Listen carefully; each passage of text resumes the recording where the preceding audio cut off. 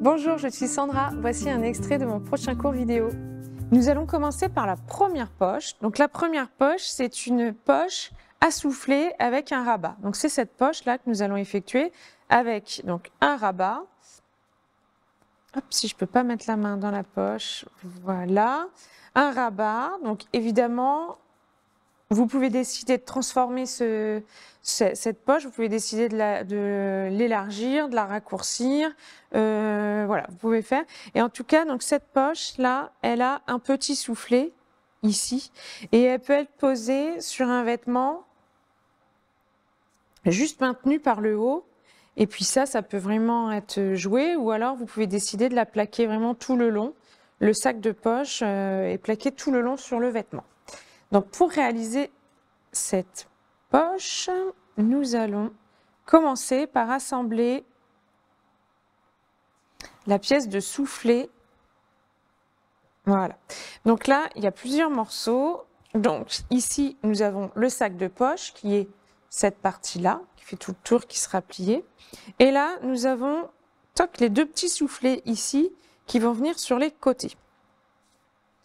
Donc, pour euh, commencer cette poche, on va venir assembler les soufflets au sac de poche. Voilà, donc on repère bien l'endroit à l'envers et on va venir assembler endroit contre endroit. Donc pour ça, ici, je vais repérer le centre. Pour le coup, moi qui ne suis pas trop pour le crantage, on va quand même ici cranter légèrement. Donc je reste quand même dans la valeur de ma marge de couture. Voilà, ça va me permettre ici de repérer et surtout de pivoter. Donc là, je vais enlever un petit triangle. Hein. Voilà. Je dégarnis, j'enlève un petit triangle, ça va me permettre de bien m'installer voilà, à la machine. Donc j'ai repéré le centre, je prends un des deux soufflets et je vais venir là assembler. Donc je m'installe en haut et je peux, donc endroit contre endroit, ici je vais tout de même maintenir ça avec une épingle, puisque c'est ma limite. Si on fait pas, si on prend pas tous ces repères là, on risque d'avoir une pose pas très régulière. Donc surtout, en épinglant, je reste dans ma valeur de couture, parce que le but c'est vraiment pas non plus de m'encombrer avec l'autre partie. Voilà, donc je viens m'installer ici, là, en haut, et je vais passer à la machine, et je vais venir, donc le souffler vers moi, vers le haut. Et je vais venir ici piquer à 1 cm et contourner là pour pouvoir aller jusqu'en bas de ma pièce ici. Voilà. Donc, je vais l'effectuer une première fois. Voilà. Donc, je vais m'installer à 1 cm sur la machine.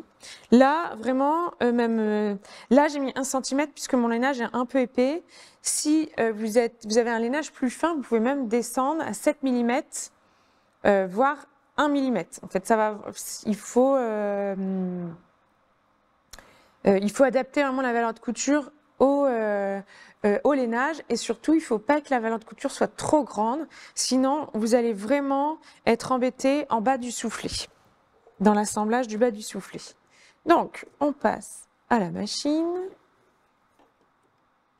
Hop. Je fais mon point d'arrêt. Voilà. Et je suis, ouais, je vérifie mon point. Et je suis là tout mon assemblage.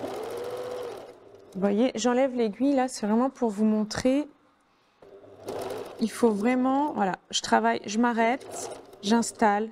Il faut que ici, il faut que ici, je place vraiment bord à bord à chaque fois que je tourne. Voilà, j'y vais délicatement. Ici, je fais correspondre mon repère.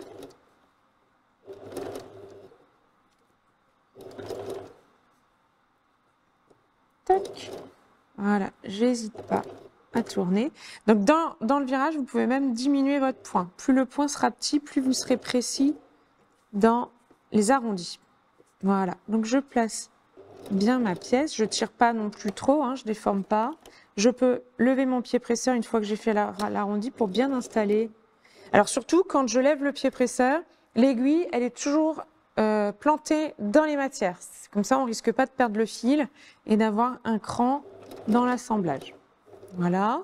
Donc là, je place mon aiguille et je vais venir ici jouer. Je vais venir installer là mon tissu. Donc si j'ai un peu d'embu, j'essaye, donc je limite l'embu. Mais si j'ai un peu d'embu, bah, c'est du lainage. Donc je peux jouer aussi un peu avec.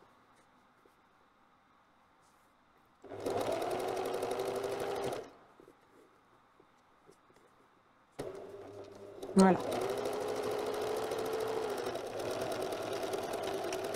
Hop, voilà pour un soufflet. Et je vais venir placer l'autre de la même manière. Si cet extrait vous a plu, retrouvez l'intégralité du cours sur artisan.com.